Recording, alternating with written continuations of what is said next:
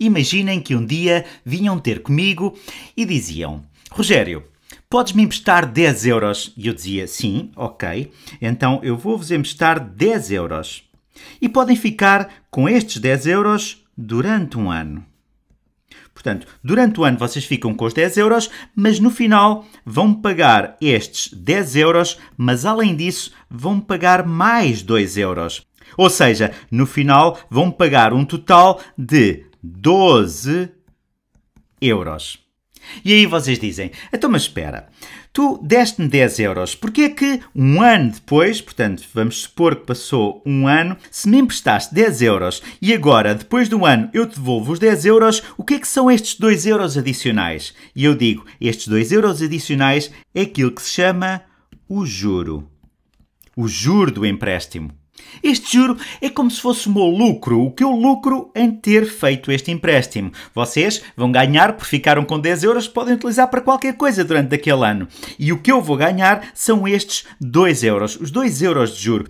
Estes 10 euros iniciais, muitas vezes também se chama o capital inicial. O capital inicial. Então, o capital inicial é, no fundo, o dinheiro que nós pedimos emprestado. Ou seja, é o dinheiro que pedimos emprestado.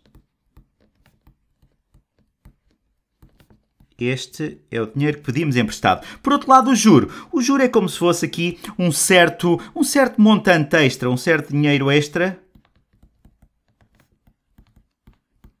que nós temos de pagar no final do empréstimo, que normalmente é calculado com base numa percentagem do capital inicial. Então, se nós somarmos, se nós somarmos o capital inicial, o capital inicial mais mais o juro, então vamos obter aquilo que muitas vezes chama o valor em dívida.